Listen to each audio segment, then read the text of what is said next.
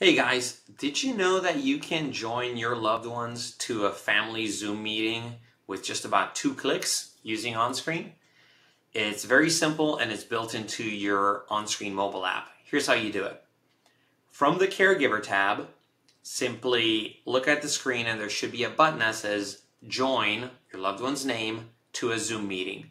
Just tap that button, enter the meeting code, which is usually about a nine digit number and the meeting password and tap join meeting. At that point, you could be in California and your loved one could be in Florida. Their TV will come on, it will switch to the OnScreen device, and they will automatically join the Zoom meeting. So now, mom in Florida can join this family gathering with people all around the country, and it's extremely easy and painless for everybody to do. Um, you're able to mute and unmute mom's Zoom.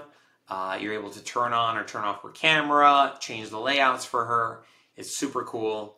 So give that a try when uh, you have your next family virtual gathering and let us know how it goes. Thanks and have a great day.